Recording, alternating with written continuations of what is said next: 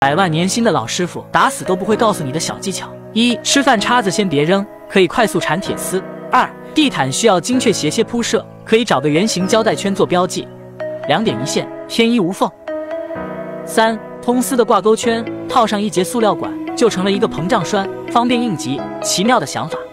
四、想要把这颗螺丝拧到石头里面，你用锤子砸，肯定砸不进去。这是出口日本的棘轮螺丝刀，向右旋转，松螺丝不需要倒手。向左旋转，上螺丝不需要倒手。CRV 合金钢的劈头，一头一字一头十字，螺丝拧坏它不会坏，长短可以自由调节，用它来拧螺丝呀，快速省力。咱们看看效果，把这个螺丝快速的拧到这个木头里，只需要这样来回的晃动手腕就可以，它的工作效率能大大的提升十多倍。咱们在家修汽车、摩托车、橱柜、衣柜的螺丝，这都是相当的方便省力，老师傅强烈推荐。五，把卷尺粘上一根铅笔，这样频繁制作一些扇形、弧形的造型时，就可以轻松画线了。